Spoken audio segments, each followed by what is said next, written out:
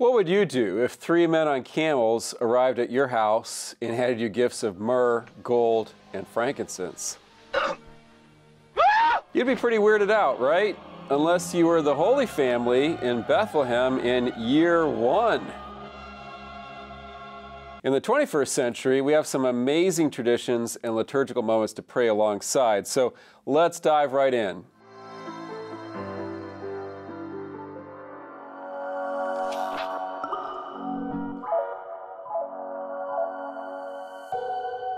Welcome back, my dear brothers and sisters. Thank you for joining me for Bible Basics with John Bergsma, which is me. We'll start with our usual call and response. So, repent and believe in the gospel. For the kingdom of God is at hand. Not bad, not bad. All right. You don't have to have an epiphany about when Christmas season ends because it's on the baptism of our Lord, which this year falls on the Monday after the Epiphany of our Lord. Why? Well, since Lent starts a little earlier than usual this year, we have fewer Sundays in ordinary time to start the liturgical year. So the remaining days of January mark the beginning of ordinary time, which is represented by the liturgical color green, which, like a sprouting seed, is a symbol of hope. So, this year, January 7th, celebrates the Epiphany of our Lord. The word epiphany means a manifestation of God. The readings for the Feast of Epiphany of our Lord tell of the revelation of Jesus Christ to all people rich magi, poor shepherds, and everyone in between. The magi from the east worship him and bring gifts of gold, a symbol of royalty and kingship, frankincense, used in worship, pointing to his divinity and priesthood, and myrrh, which represents his humanity and death. We should also present these gifts to God in our daily lives. Gold means living in Christ's wisdom. Frankincense is prayer, and myrrh is offering our daily struggles as sacrifices in union with the Lord. On the second Sunday of Ordinary Time, we are invited to respond to God's call for us, but we must be disposed to listen to His voice by seeking Him in our daily lives. There are so many voices coming from the media, politics, friends, family, and from ourselves. It, it takes time to learn God's voice through prayer and discernment. God is constantly calling to each of us by name. And so may we respond to him as Samuel does Speak, for your servant is listening. On the third Sunday in Ordinary Time, we hear how Jesus' call is transformative for our lives. This transformation comes from chapter 1 of Mark's Gospel. We are called to repent, which means turn away from evil and turn toward God in love. In the first reading, we hear the call of Jonah to tell the people of Nineveh to repent. And in the Gospel, Jesus calls Peter and Andrew to repent and follow him. Their yes to this call changes their occupation from fishermen to fishers of men.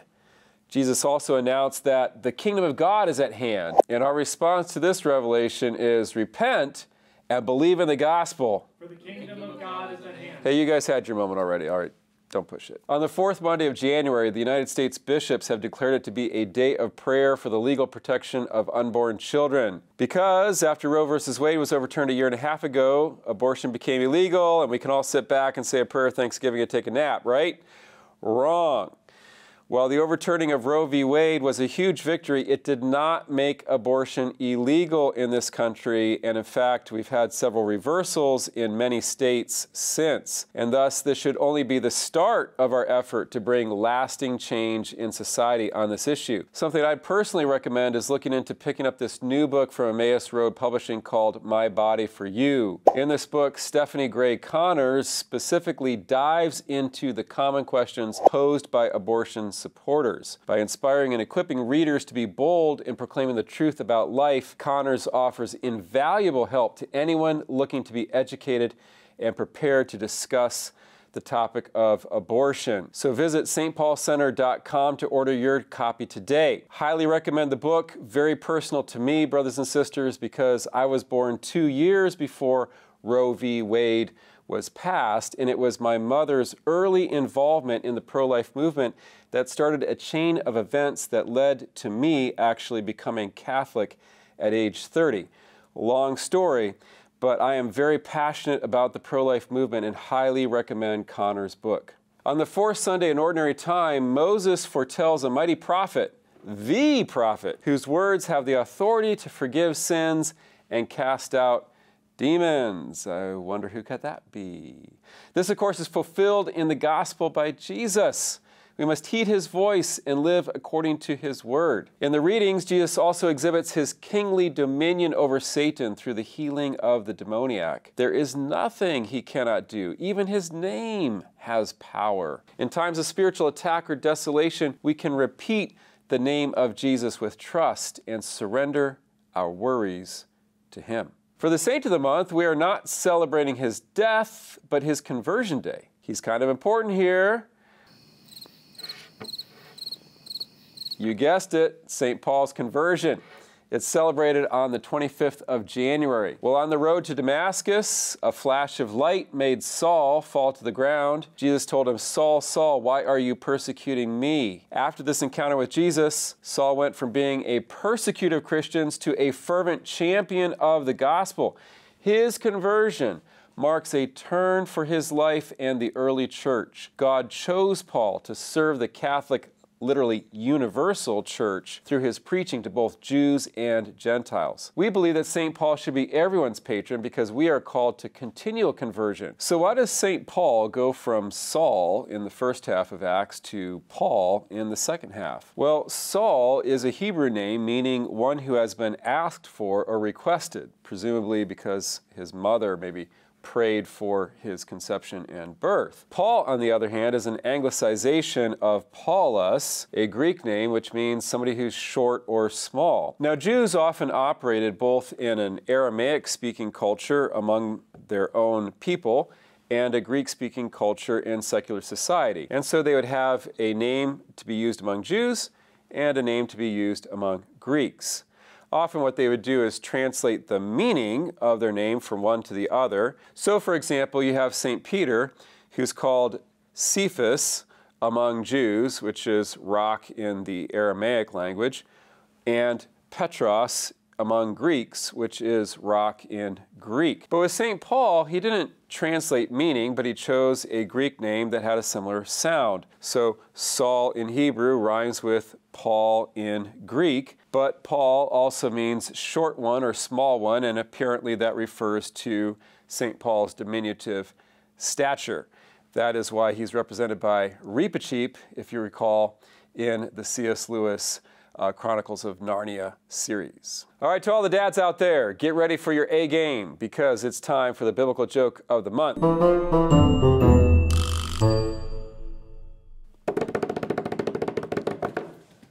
How would St. Paul advise you to conquer pride? He would say, You need to fall off your high horse. Oh, gross. All right, St. Paul actually didn't fall off a horse, you know. Go ahead and read that passage in Acts. No horse is mentioned. But in many images of the conversion of St. Paul, he is depicted as falling off a mount. Admittedly, that wasn't my best, so if you have something better, feel free to comment below. Okay, now for our next segment Stump the Scripture Scholar.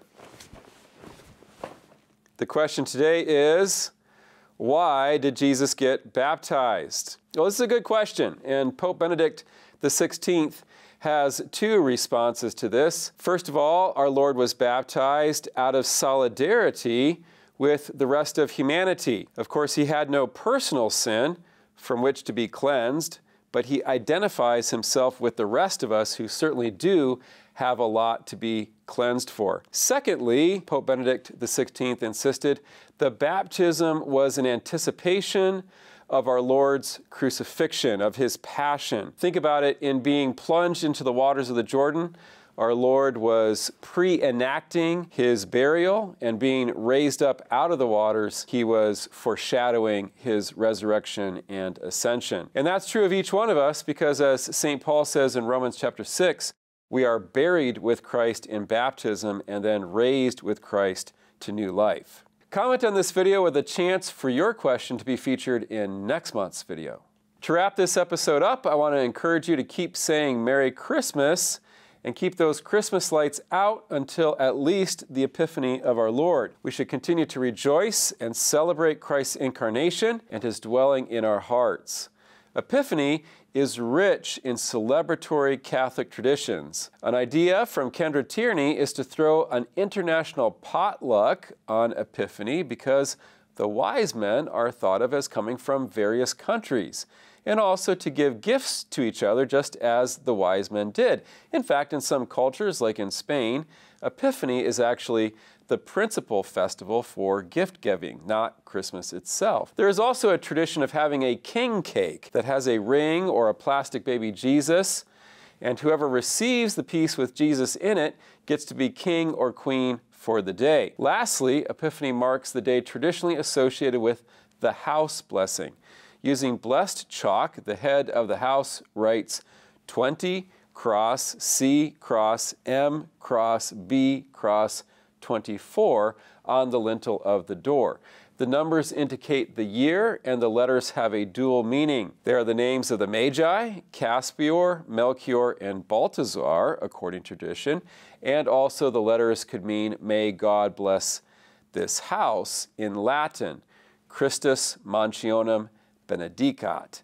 The plus signs, or the crosses, represent, of course, the cross of our Lord.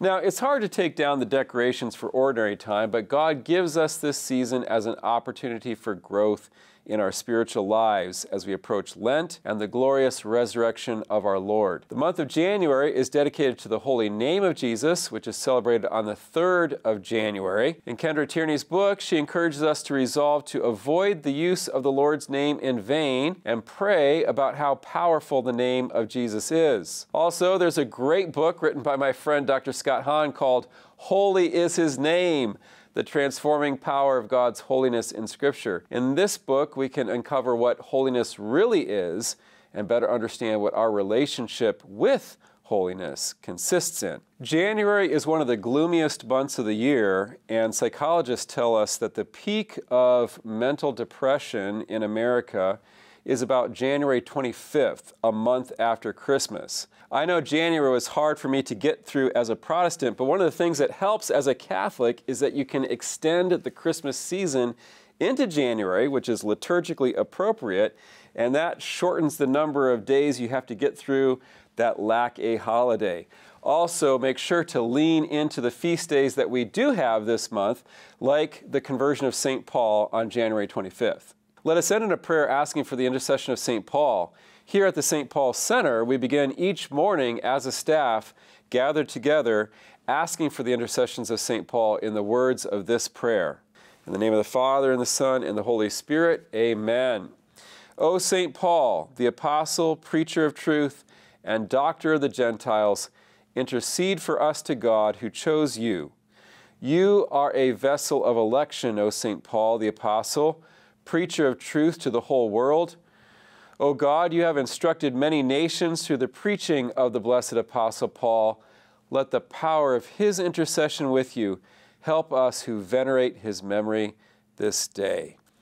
Amen. And in the name of the Father, and the Son, and the Holy Spirit. Amen. Thank you for watching Bible Basics with John Bergsma, and I hope to see you next time. May God richly bless you.